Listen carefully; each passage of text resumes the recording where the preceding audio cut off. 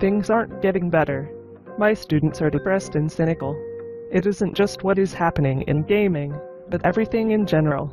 I understand what you mean. I've noticed the mood on campus also. What can we do to help them? Simple. Teach them how to help themselves. But how do we do that? They feel like they're powerless. They are anything but powerless. In fact, they are more powerful than they realize. It is the powers that be who do not want them to know this fact. They want young people to think they are powerless. Because they know if the youth of this world rose up to change the world, they could not stop them. But they tried, with movements like Occupy Wall Street and protests, none of which actually did anything. I disagree. Occupy Wall Street opened the way for the Bernie Sanders movement. While the powers that be stole the election from him, they didn't steal the energy behind his ideals. They cannot take that away. Young people need to understand that it wasn't Bernie Sanders that gave them the power, but that the power of their movement came from within themselves. They don't need to rally behind a charismatic leader to combine their will to change the world. If anything, Bernie's fall needed to happen to release them so they could carry on the momentum on their own. What they decide to do in November could change the world. They have the power. They don't have to accept the lesser of two evils. It is within their power to change the status quo, to break the dominance of the two-party system and thus usher in actual change. What do they have to do? Don't vote for either major party candidate, for one thing. Neither of them are suitable for office. Throw their support behind someone else. There are currently two good choices who are anything but establishment. Congressional seats are also going to be up for grabs. If the candidate is a career politician, don't vote for them. If they're establishment or have ties to the banks, don't vote for them. Vote for no candidates who have ties to the establishment. But a lot of them feel that their votes don't really matter. The sad part is they're probably right, but that is no excuse to give up. Yes, the system is rigged. Yes, the establishment violently protects its power, but their hold on the power is hanging by a thread. The youth of this world have the power to break the thread, but only if they choose to stand up and never back down. You make it sound like you want them to go to war. It is a war, though. Not a war with guns, but with ideas. The establishment represents old outdated ways of thinking. Their ideology is not compatible with the sociological changes happening to our world because of the internet.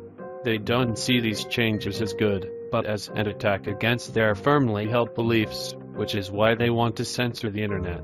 In order for our society to move forward, these old ideologies must be pushed aside. The youth of this world have the power to do this. The young voters of today will be the politicians of tomorrow. They will reject the old ways. The establishment will resist, possibly even violently before it is all said and done. Despite all this, our youth need to hold fast, never back down, never surrender, never give up. The establishment might bring guns to bear, it will only show the world what they actually stand for. By holding fast and refusing to stoop to their level, the youth of this world will prevail. Do you really believe the establishment will lash out against our youth for trying to bring change? They already are. Look at all the young people locked up in privately owned prisons that operate for profit. Look at our poor neighborhoods where deliberate barriers against climbing the social ladder result in violent crime. And don't get me started with how the police treat our youth. Then, there are the hundreds of thousands of young people who face the crushing debt of college loans. So, yes, the establishment has already started its attack. My god, I had no idea. What they don't understand is, the more they struggle to stay in power, the quicker they hasten their downfall. Which is why our young people need to decide that they will not back down, they will not give up, until this fight is won. A fight, not with violence, but with compassion and conviction. There are so many young people. How could they possibly lose if they all stood together as one?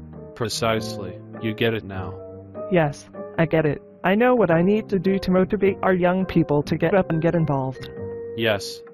The first thing they can do is get out and vote in November. There will be several races going on during and after the presidential election.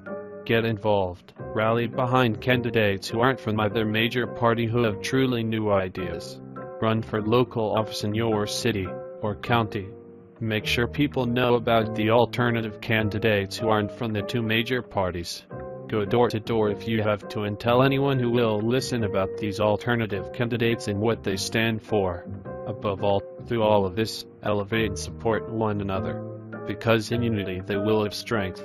Thank you. This really helps me out. Now I know what to say to my students. Good. The more we motivate them to stand up for what they believe in and support one another, the sooner they can change this world for the better. Because this goes beyond the bad behavior of the game studios and the state of the gaming industry. This affects the whole world, they are a part of that world, and united they have the power to transform it. It is up to us, the older generations who understand it, to motivate them and show them that they can do this. I agree. From now on, I will motivate all of our young people to stand up for their future. Because if they don't, who will?